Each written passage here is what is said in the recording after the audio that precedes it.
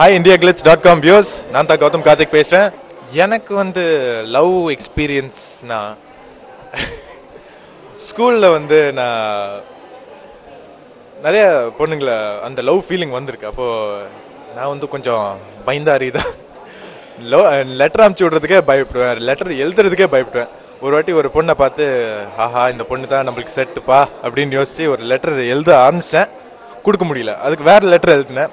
Can I borrow பென்சில்ன்ட்டு pencil letter கொடுத்தேன். அவங்க வந்து வாட் இஸ் திஸ் நான்சென்ஸ்னு சொல்லி போயிட்டாங்க. லவ்ல நான் அவ்வளோ சக்ஸஸ்ஃபுல்லாக இல்லை. ஆனால் இப்போ வந்து நிறைய பேர் அப்படியே ஹாப்பி வேலண்டைன்ஸ் டே விஷஸ்ன்னு சொல்கிறாங்க அது வேறு ட்விட்டரில் ஐ லவ் யூ அப்படி இப்படின்லாம் சொல்கிறாங்க அதெல்லாம் பார்க்கும்போது அவ்வளோ சப்போர்ட் கொடுக்குறாங்க. எனக்கு ரொம்ப சந்தோஷமாக இருக்குது என் அப்பா அம்மா பார்த்தீங்கன்னா அவங்க வந்து எப்போதுமே ரொம்ப சப்போர்ட்டிவாக இருந்தாங்க. அப்போது சப்போஸிங் ஒரு பொண்ணு எனக்கு பிடிச்சிருந்துச்சுன்னா ஒரு கமிட் ஆகிட்டேன்னா கண்டிப்பாக அவங்க கிட்ட தான் காட்டுவேன். அப்போ அவங்க என்ன யோசிக்கிறாங்களோ தான் ரொம்ப முக்கியம் எனக்கு. ஏன்னாக்கா அவங்களோட பிளெஸிங்ஸோட தான் நான் அந்த ரிலேஷன்ஷிப்பை கண்டினியூ பண்ண முடியும்.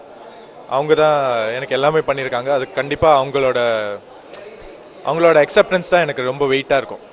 ஆமாம் ப்ரீவியஸ் ஜென்ரேஷனில் பார்த்தீங்கன்னா நிறைய பேர் லெட்டர் எழுதி விடுவாங்க.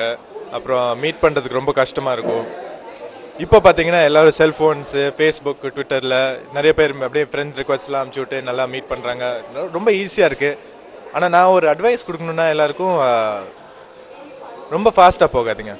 டேக் யுவர் டைம் லவ்வை என்ஜாய் பண்ணுங்கள் அப்படியே அந்த காதல் வந்து ஒரு ஒரு நாளாக அப்படியே நல்லா யோசித்து அவங்களுக்காக எஸ்எம்எஸும் இருக்கட்டும். ஆனால் ஒரு லெட்டர் எழுதுங்க.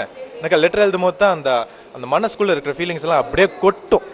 அது உங்கள் உங்களுக்கு சொல்கிற ஒரு advice please take your time love will always be there To all IndiaGlitz.com viewers, uh, happy Valentine's Day. I'm wishing you everyone keep smiling, keep loving, and keep smiling.